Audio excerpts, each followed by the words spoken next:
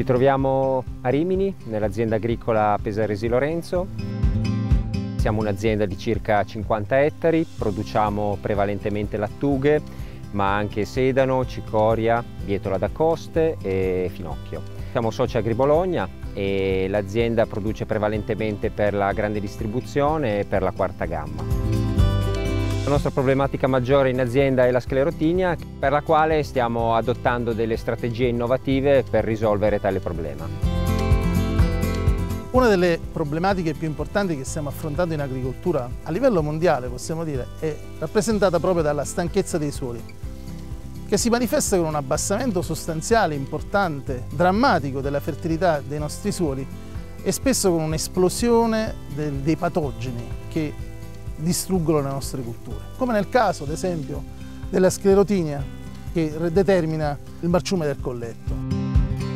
Il suolo è un organismo vivo, la sua componente viva è rappresentata sostanzialmente dalla presenza dei, dei microorganismi che lo abitano. Il suolo eh, è abitato da miliardi e miliardi di tipi di microorganismi, funghi, batteri, microalghe, che interagiscono con la pianta. Quando eh, questa componente manca, la pianta soffre e manifesta la, la malattia.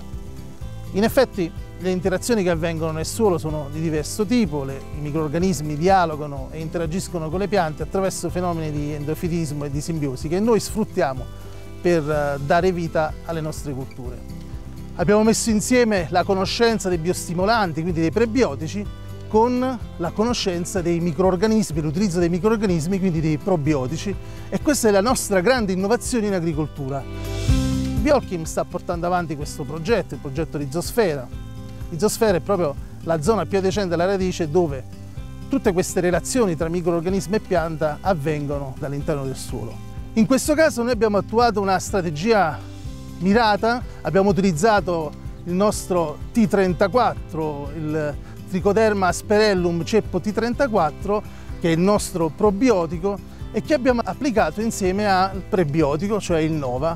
Il T34 è un prodotto che ha delle caratteristiche particolari. Prima di tutto è un prodotto registrato in agricoltura biologica, non lascia residui, non dà fenomeni di resistenza perché i fenomeni di cattura, di parassitismo del tricoderma nei confronti dei patogeni si verifica attraverso due fenomeni, l'attacco diretto al patogeno e anche la produzione di antibiotici, quindi un'antibiosi nei confronti dei patogeni.